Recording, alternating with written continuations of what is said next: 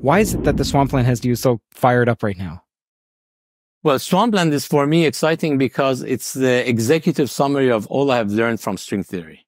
If somebody told you, okay, you have studied string theory, tell me what did you learn? What it, what it is that this quantum gravity is all about. This is what swampland is trying to do. It's exactly the lessons we are supposed to have learned from studying string theory. Now, uh, what, what does that exactly entail? Quantum gravity is very different from the rest of quantum field theories. So if you take particles like quantum uh, quarks and electrons and how they interact in the context of gauge theories, we have beautiful theories which describe them very nicely. Quantum chromodynamics describes the theory of strong interactions. Quantum electrodynamics does the same for electricity. And there's the uh, electroweak force, which is uh, another kind of gauge force, which is also does as equally a good job for describing the weak forces.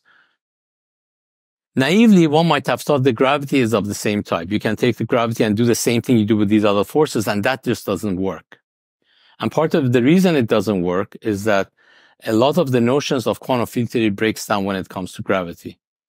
Quantum field theory has a hierarchical structure in terms of short and large distance physics. And the idea is that you're always interested in large distance. What happens at large distance, not at microscopic scale. So you kind of integrate out what we say, or basically uh, average out what's happening at short distances to come up with an effective description at larger distances. Sometimes we call this the effective field theory perspective about how things are emerging. This idea works beautifully in quantum field theories Namely, you start with a given large distance physics and ask what kind of symmetries are operative at that scale. And using symmetry arguments, you can more or less write down what the physical action looks like. Except that um, you don't need to know what was the short distance physics leading to this theory. So you just ignore it because it's not relevant for your question. So we learned to the, we learned the fact that if you're interested in describing large distance, by and large, you can forget what's going on at short distance and that is why quantum field theory has become so powerful because you can just take symmetries and write whatever you want and at, at a larger scale deal with it. Not at, you don't, even if you don't know the details at short distance, that does not affect, that does not affect your calculation at large distances. Very powerful idea. This idea totally fails for quantum gravity.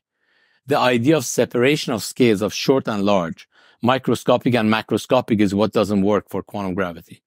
And the idea why it doesn't work is kind of one could kind of see why.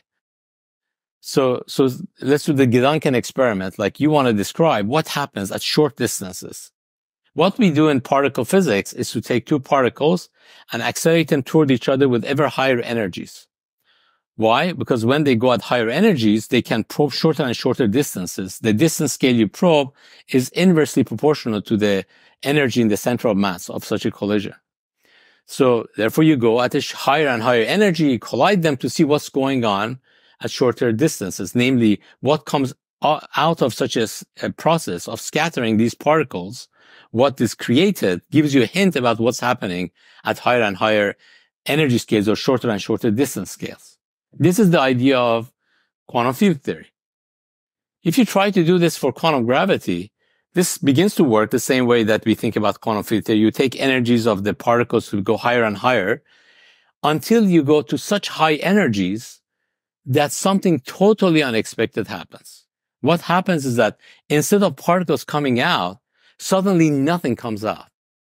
So you hit them at a very high energy. And what happens instead is that you create a big black hole. Yes. A black hole is a solution to Einstein's equation, which is described by long distance physics not short distance physics.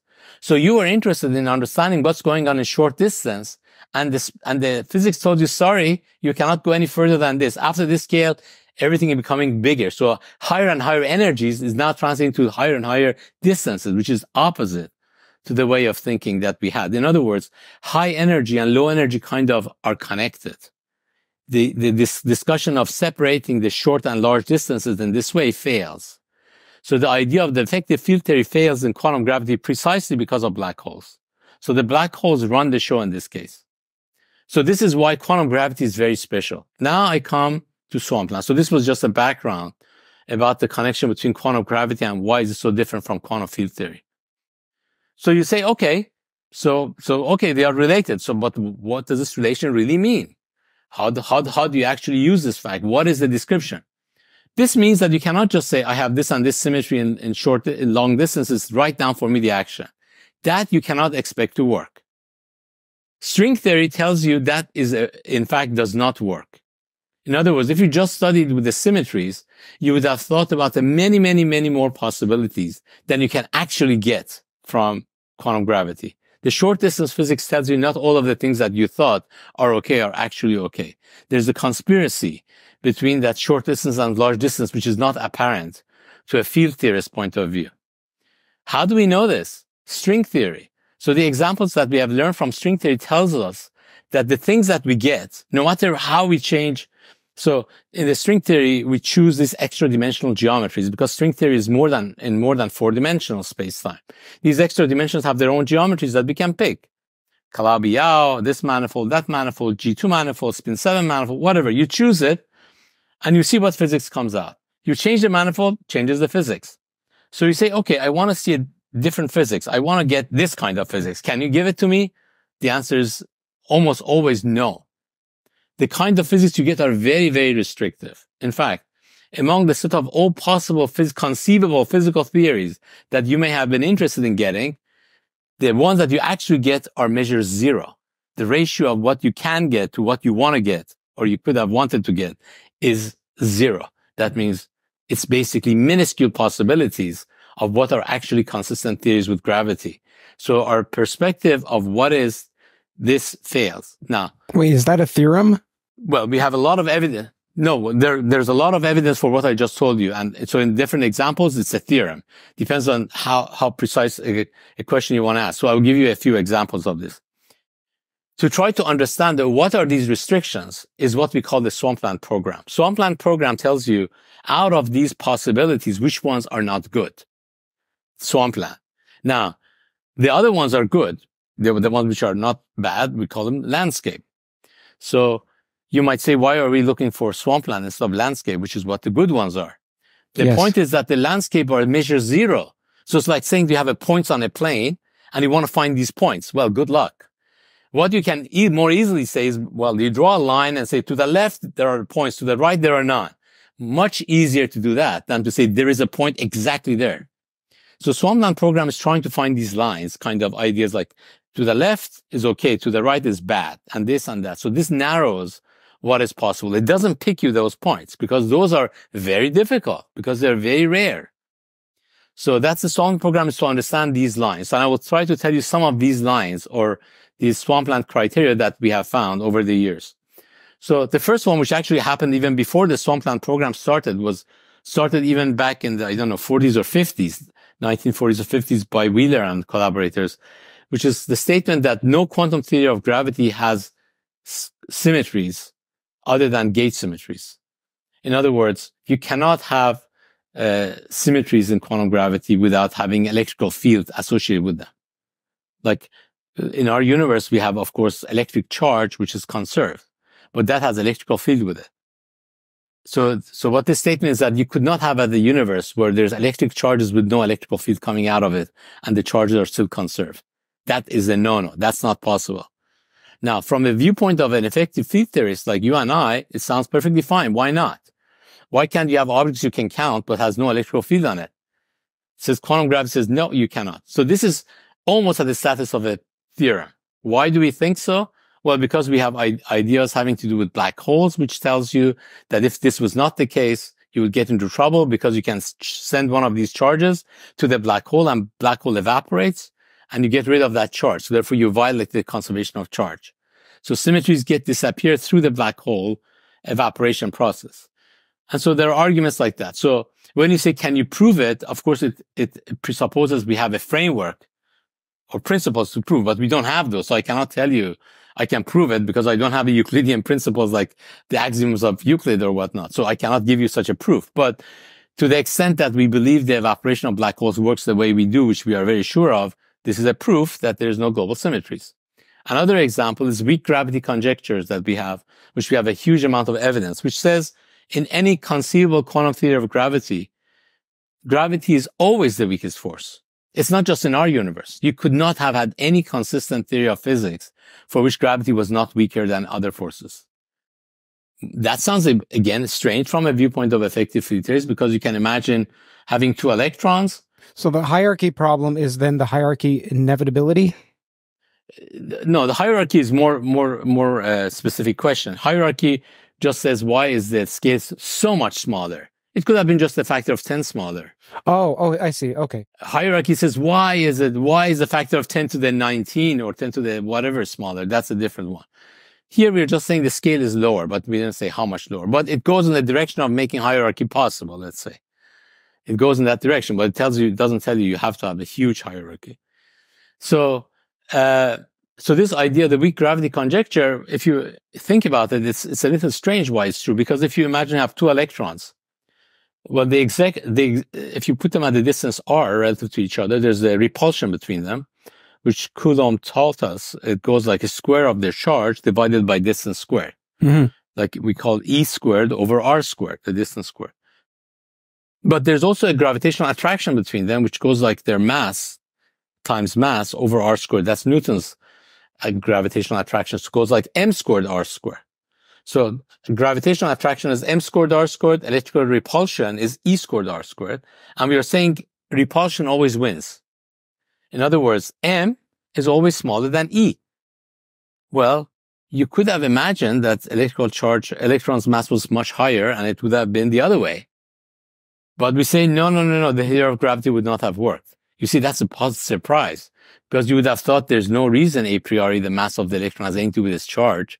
This says, no, it better be smaller than its charge in, in, in, the, in, the, in the appropriate units and in, in the fundamental units in physics. So these kind of ideas, and these are just two examples. There are many more examples. Yes. Uh, perhaps I would say one more example because it's also one of the most uh, remarkable examples, which relates to duality symmetries of string theory.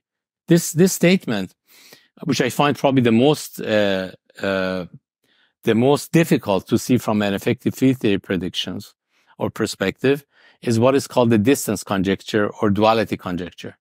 The statement is that if you take parameters in your theory, first of all, all the parameters in your theory are dynamical. Now, what does that mean? That means when we usually think about constants of nature or numbers and so on, we're saying there's no such thing in physics. That means that things that we think are constants or numbers are actually can be changed. They're dynamical. You can change them in one region of space to be bigger or smaller. It's not in fixed numbers. Okay, so constants become fields. Constant become fields, or more precisely, the expectation value of certain fields. Right. Okay. Even the speed of light. Speed of light is a, is is is is not is we, we view it in a fundamental units as one, so we don't even talk about it. It's not a speed of light. We view it as one. It's not changing for for any discussion that I'm working. In other words, speed of light is not a. Let me make it more clear. So in your in your theory, you don't need to have a parameter for speed of light. That just sets the units for us. So something else will change, but that will change with respect to the speed of light. Yeah, you could you could try to do that, but all the parameters in the theory will will will be will be somehow related to fields. Now, if you take uh, if you so so now I haven't stated what distance conjecture or duality conjecture is. It tells you that if you take this field and take the value of this field to extreme values, small or large, that means in your physical theory, it might have been a coupling becomes extremely small or extremely large. Something like that. You always, your theory always breaks down. Always. That's a surprise. That means the extreme limits means something breaks down. Yes. Now, what do I mean by breakdown? It means that if you go to far, far away corners of these extreme parameters, you get a tower of particles, which used to be very heavy, becoming lighter, lighter, lighter, and lighter. And as you go to extreme values, these give you an infinite tower of light particles. Very, very little mass separated from each other by little masses. And so you have a huge number of particles that you had ignored because back in the middle of the field space, they were very massive. So you could have ignored them. Mm-hmm. But when you go into these extreme parameters, they become so light, you cannot ignore them. And if you try to incorporate them one by one, you cannot succeed because there are infinitely many of them. So therefore, if you go far away to the left or to the right or anywhere, any direction you go, your description breaks down. So what happens? A new description comes over and takes over, incorporating those degrees of freedom, which is not your original description at all. It might mean that some dimensions opened up. It might mean that some extra particles or strings are in the game that we had completely no idea about. This is get, gives us what we call the dual description.